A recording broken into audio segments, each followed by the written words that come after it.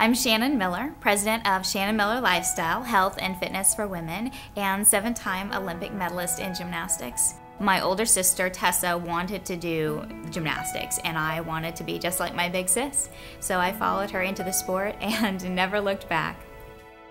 I met my husband, John, at a charity golf tournament. We just celebrated our four year anniversary, and he has been a rock. He has been a rock through this entire experience.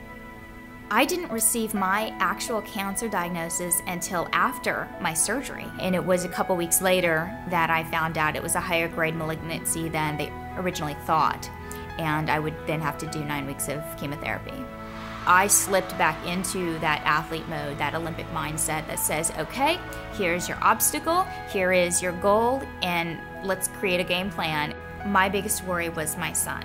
I could not imagine the, the pain if he saw me and ran because he was scared of mommy. you know, I thought going in, it's just hair. It's just hair.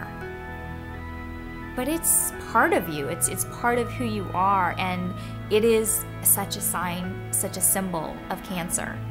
I love the Look Good, Feel Better program. I think every woman that has to go through chemo should be doing this because it's a chance for you to be in a room with other women and it's basically a chemo spa day where you get to learn how to put on makeup that is right for you at this time in your life and use certain things that will help your skin and just make you feel better.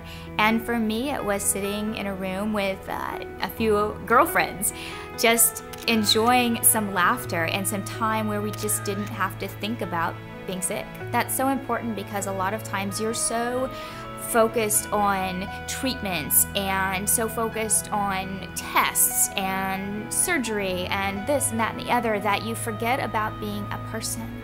And I think that's what this workshop does is it, it reminds you that you are a person and women need to know that. Women need to continue to feel that way and feel good about themselves throughout the process.